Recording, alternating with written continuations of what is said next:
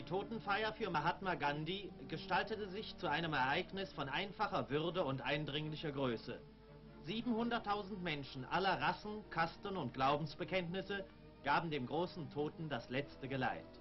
Auf dem Wege zu der Verbrennungsstätte wurde seine Bahre mit Blüten und Rosenblättern überschüttet.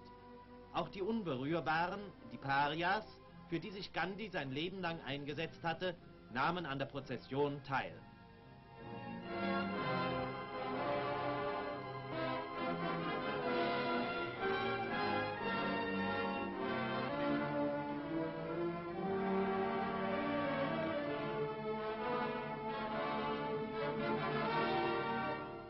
Sechs Stunden lang bewegte sich der Zug zum Ufer des Jumna-Flusses.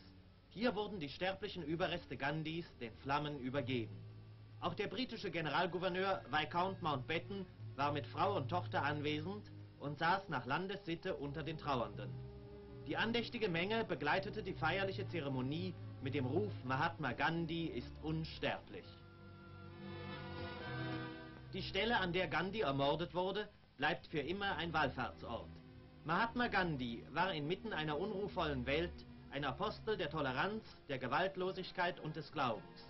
Die Kraft seines Geistes war die stärkste Waffe des Friedens. Seine Asche wurde nach tausendjährigem Ritus den Wassern der heiligen Flüsse Indiens übergeben.